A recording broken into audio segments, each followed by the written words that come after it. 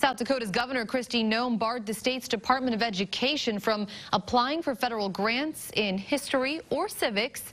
This is over concerns about how certain teachings on systemic racism would be tied to those grants. In a statement, Noem said, quote, critical race theory seeks to divide us based on inaccurate revisions to our nation's history and that South Dakota classrooms are meant for education, not indoctrination.